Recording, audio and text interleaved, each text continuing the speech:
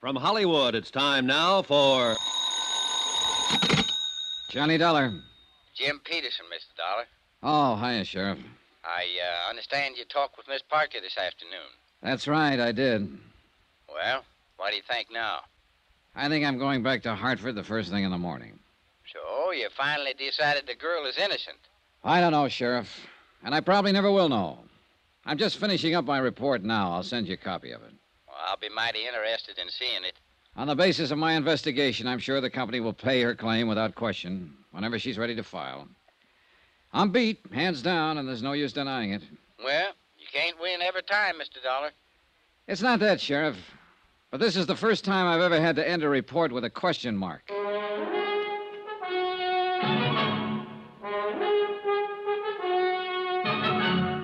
Tonight and every weekday night, Bob Bailey in the transcribed adventures of the man with the action packed expense account, America's fabulous freelance insurance investigator. Yours truly, Johnny Dollar.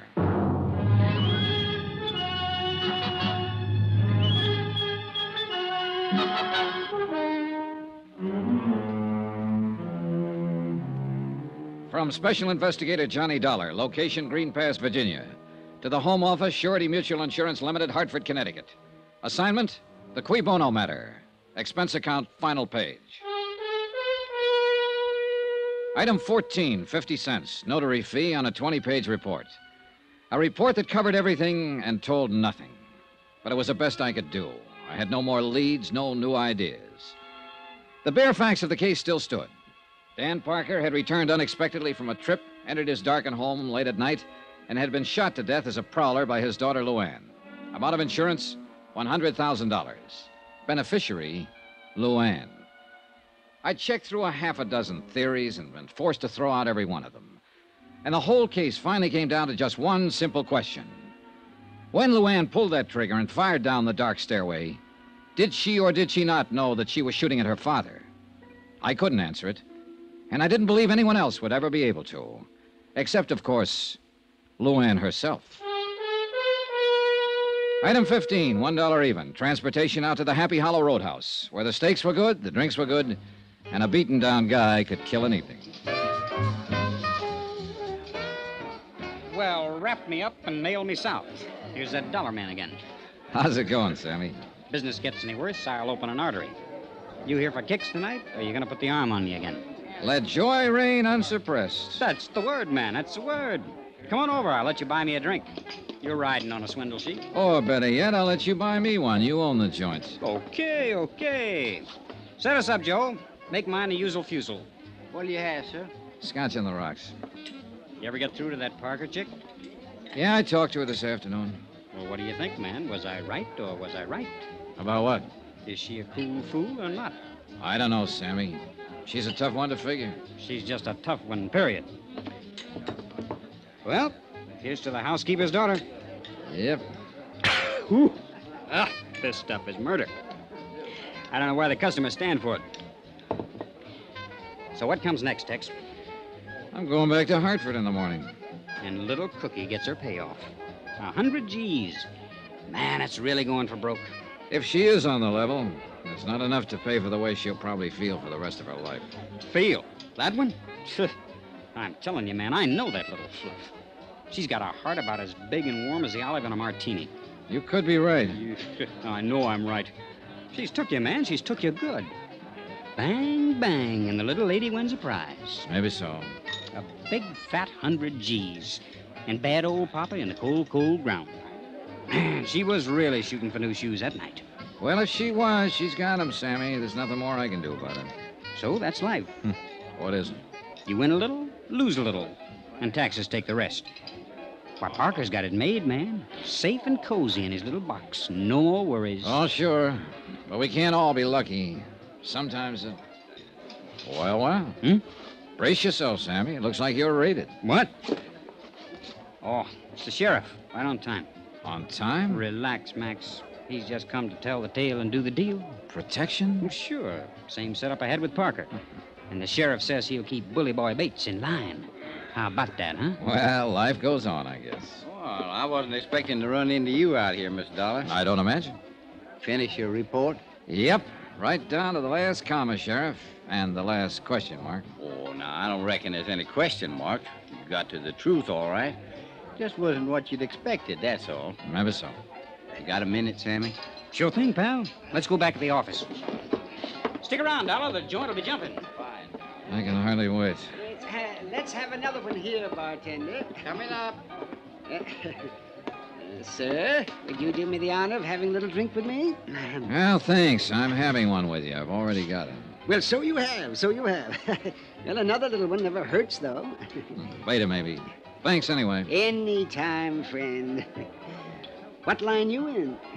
The insurance record. Sure, well, well, that's all right, I guess. I. Uh... Oh, thank you, thank you, bartender. Thank you very much. I'm in ladies ready to wear myself. Must be fascinating. A wholesale. I work out of Baltimore. Cover three whole states. Oh, I got a great little line of merchandise. I uh, really don't need any. Oh, the heck with business. Let's live a little, shall we? uh, Mr. What? Dollar. Johnny Dollar. Oh, yes. Well, well, here's looking at you, Dollar. Uh, ah, you know, I always believe in living while I can. Because you never know. Now, that's a very profound thought. No, sir, you just never do. Because it can happen to anybody. Just like it did to a fellow I met last week. Man right here in this town, too. Fellow named Parker. Parker. That's right. He was a fine chap. I met him on the train coming out from Richmond. And I was on my way to Roanoke. Oh, we were laughing and we were joking and everything. And that very night he got killed. And I read about it in the paper. So you just don't never know. Hey, look, tell me something. Are you the man who got off the train with him, talked with him on the platform while the train was standing in the station? That's right. That's right. He wanted me to meet his daughter. And that's all he talked about. It was his daughter. Oh, he was crazy about that kid. Well, uh, did he expect her to be there at the station? Yes, but she wasn't. I, I guess he got the wires crossed. He tried to phone her, but he, he didn't have any luck. So I get back on the train. He walks off down the road, and a half hour later, he's dead. I'm telling you. I'm telling you. You just never know. On the train, on the way down, what did he say about his daughter? Oh, you know, the way a guy talks about his kid. He, he worshipped her. Yes, he did. That's all. He, he was telling how they were always kidding each other and they were. Oh, say, here, here, take a look at this tie I'm wearing. Yeah, sure. It's a nice tie. Sure, it's a nice tie. That's what anybody would think just to look at it. yeah, it's a nice. Come on, come on. I want to show you something about this tie. Well, uh, can't you show me without going No, you got to go outside. So come on, come on. uh, Mr. Parker gave me this tie. He was wearing one on the train, and I liked it, so he gave me one. He said he had three of them. His daughter gave them to him the week before. He got them from some novelty house. so come on, come on. Well, look, uh, what is it you want to show me about it? Oh, come on, come on. We got to go down there at the corner of the building. Oh, boy, this'll knock you out. No, I'm telling you, oh, it's just real crazy. Yeah, it must be. Parker never would have given it to me except he had three of them. He figured he could never wear them all, so. Well, uh, well, come on, let's see the trick. All right, all right. Look, it's just a nice necktie, isn't it? That's all. Yeah, that's nothing out of the ordinary. Now, come on around the corner here out of the light. Oh, boy, this is going to fracture you. now, now, look. Well, I'll be. Good Lord. How about that, eh? Is it crazy? That daughter of Parker's really must be something, huh? Yeah, she is. Can you imagine a kid thinking up an idea like that? Can you? Giving her dad a necktie that, that glows in the dark.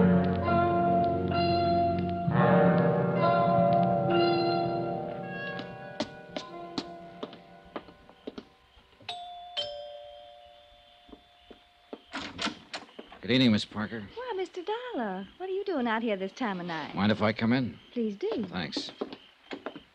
Oh, I brought your gun back. The sheriff was finished with it. I never want to see it again. And how you feel? I'll put it uh, here on the table.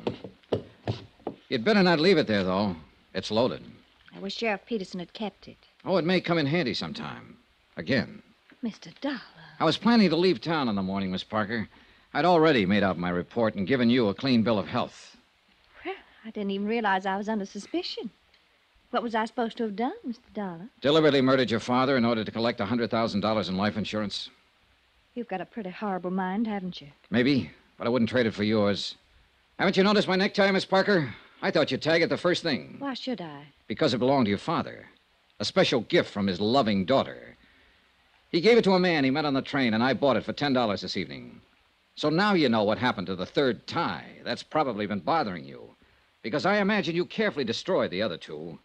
I think you're a little more than slightly insane. Oh, it was a neat plan. Simple and sweet. You got the idea a month ago when the sheriff caught a prowler over on the south side of town. And suddenly you began to hear prowlers at night. You bought your father a set of ties that glow in the dark. And then you waited. And when he came back from that trip, you got your chance. You've got quite an imagination. Oh, it was a great setup. A dark house and him wearing a tie that glowed in the dark, just like this one, Miss Parker. It was a perfect target. You couldn't miss. It's almost a shame that you were beaten by one unforeseen accident. Your father talked to a stranger and gave him a tie. And that tie is going to hang you. No, I don't think so, Mr. Dollar. Turn on those lights. You were right, you know. It is a perfect target. You were very clever, Mr. Dollar, but not quite clever enough, or you'd have known. Sheriff, Yeah, I've been standing out there on the terrace. you. No, no, Luann. You better give me the gun. No use pointing it, honey. It's loaded with blanks. You all right, Miss Dollar? Yeah, I'm all right, Sheriff. A little sick, that's all. That anybody so beautiful could be so rotten. You faked it. You tricked up the whole thing just to frame me, you filth, you dirty evil. Ah, that's enough, Luann. That's enough. Nobody tricked you except yourself. That's hard for me to believe. Dan and me used to take you fishing with us when you wasn't no no higher than that. You was the prettiest little thing I think I'd ever Oh, seen. Oh, shut up, you old fool. Now I got to take you someplace again. Wish I hadn't ever lived to see this day.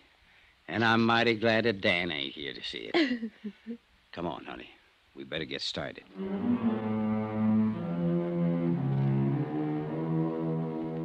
Expense account item 16, $148.30. Hotel and incidentals in Green Pass and transportation back to Hartford. Expense account total, $382.65. End of account, end of report. Remarks. When you gave me this assignment, Don, you asked a question, a phrase in Latin. Cui bono? Who benefits? So here's your answer. Nobody. Yours truly, Johnny Dollar.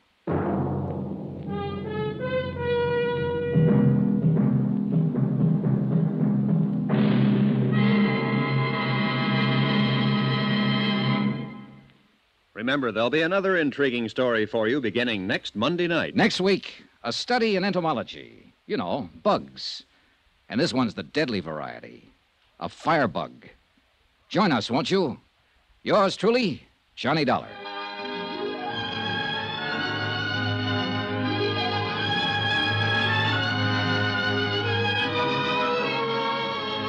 Yours truly, Johnny Dollar, starring Bob Bailey, is transcribed in Hollywood. Written by Les Crutchfield, it is produced and directed by Jack Johnstone. Heard in this week's cast were D.J. Thompson, Mary Jane Croft, Forrest Lewis, Byron Kane, Russell Thorson, Sam Edwards, Dal McKennon, and Howard McNear. Musical supervision by Amerigo Marino. Be sure to join us on Monday night, same time and station, for another exciting story of yours truly, Johnny Dollar. This is Roy Rowan speaking.